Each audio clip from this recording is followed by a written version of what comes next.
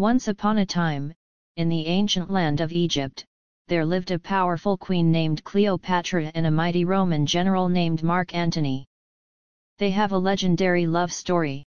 Cleopatra, the beautiful and cunning queen of Egypt, met Mark Antony, a brave and charismatic Roman general, by the banks of the majestic Nile River.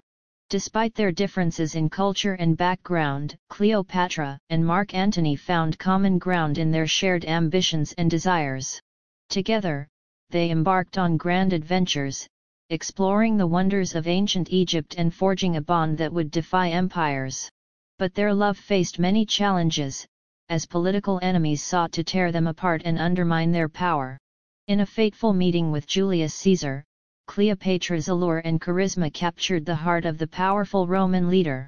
In the warmth of an Egyptian sunset, Cleopatra and Mark Antony declared their undying love for each other, vowing to conquer the world together.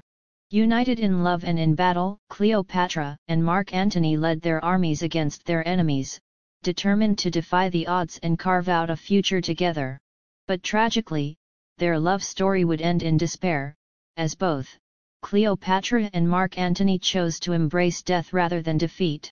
Cleopatra chose to end her life by a bite of snake, whereas Mark Antony attempted to take his life by his own sword but survived long enough to see Cleopatra dead. And so, Cleopatra and Mark Antony found eternal love in the afterlife, their spirits forever intertwined in the sands of time.